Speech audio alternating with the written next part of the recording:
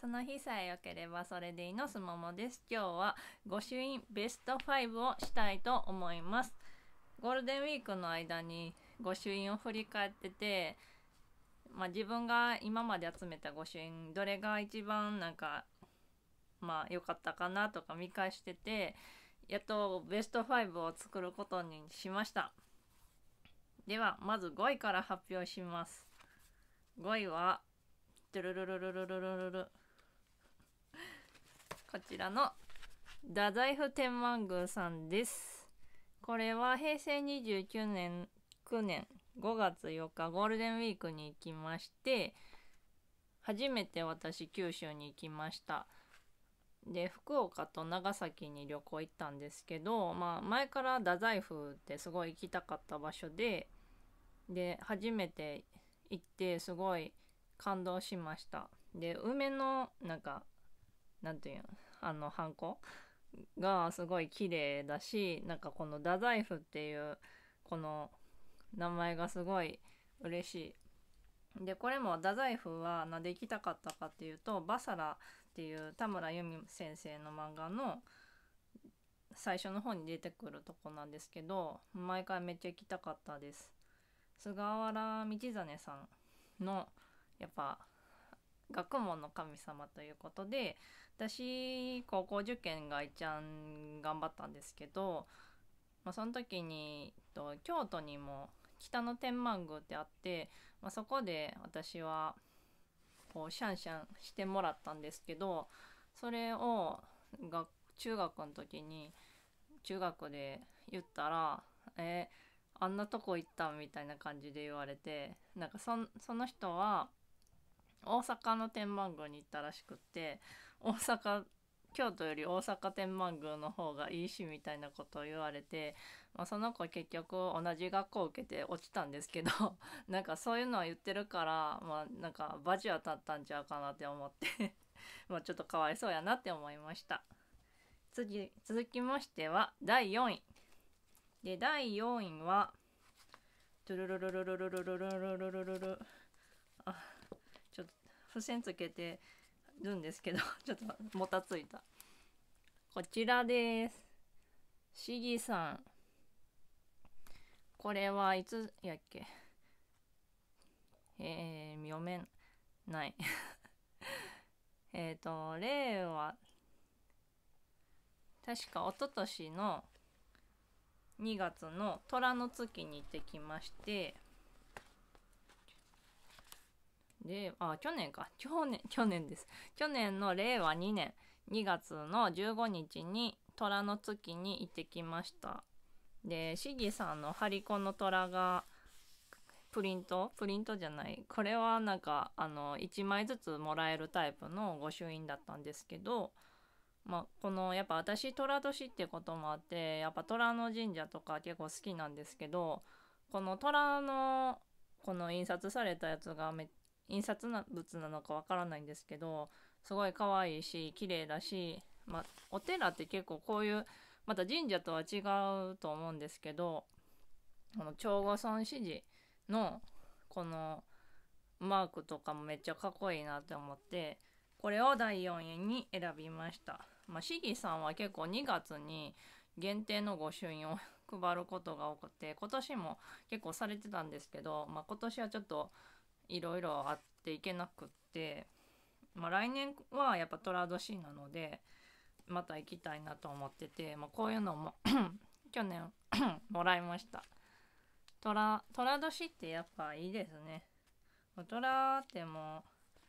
寅年ってもう何何でも良くなると思うので来年は景気が良くなってコロナも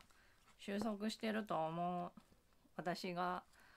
そんな思い寅年のなんか願掛けわからないけど。続きまして第3位です。トゥルルルルルルル第3位はこちらの熊野大社。これは去年の8月17日に行っててこれはお姉と熊野大社に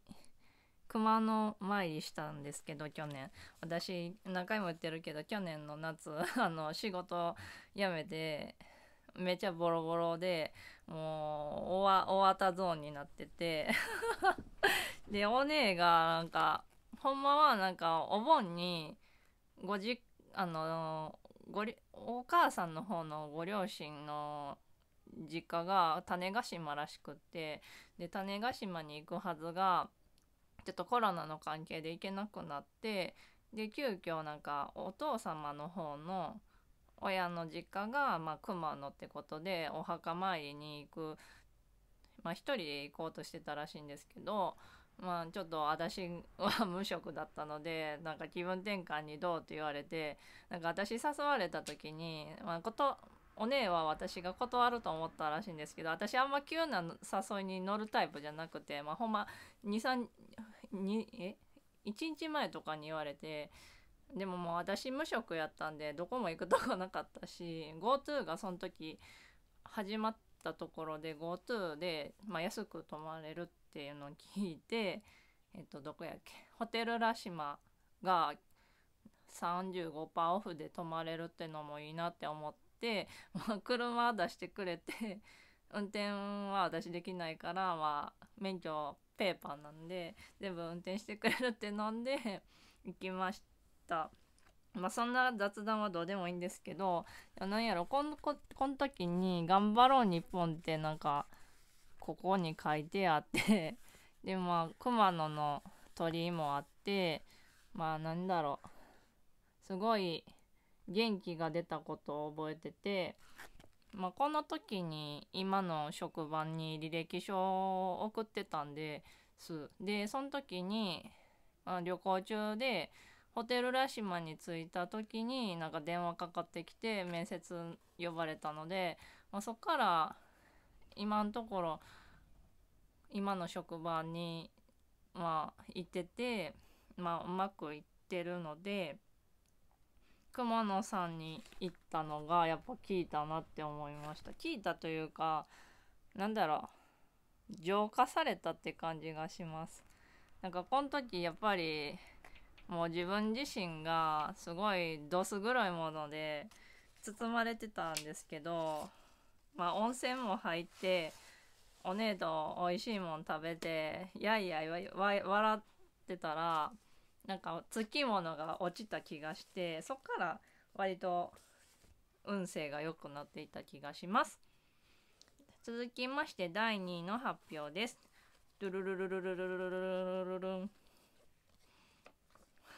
効果音自分でつけるタイプスタイルあ第2第2こっちやった付箋つけてるんですけどもたもたつくああったあったあった第2位の発表です。トゥルルン。こちらは、えっと、岡崎神社です。京都にあります。でこれの何がいいかってうさぎですよ。うさぎ寅年って言ってたくせにうさぎかよって 思うんですけど